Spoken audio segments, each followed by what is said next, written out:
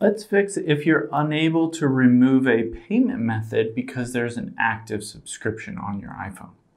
Now, if you have an active subscription and you want to remove a payment method, I'm going to walk you through the steps. The first thing that we'll do is open up the App Store here, and we will just tap on our profile icon at the top right.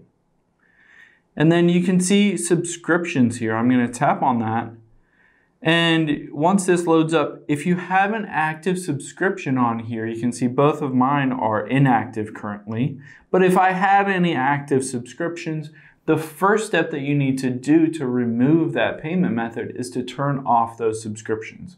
So just go in any of these, turn them off. You can always sign back up for them because they're all month to month. So just turn off any of these subscriptions and then once you've done that, let's hop out of there and go into our settings.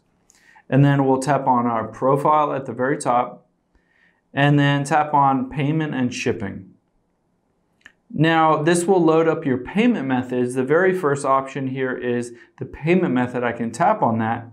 And then here at the very bottom, I can just tap remove payment. And now it will allow me to remove that payment and either have no payment on here or eventually I can go through the process of adding a new payment method, a credit card, debit card, PayPal, whatever, if I want to use that to create a new subscription or buy any new apps or anything. Hope this helps. Thanks for your time today, and I'll see you on the next one.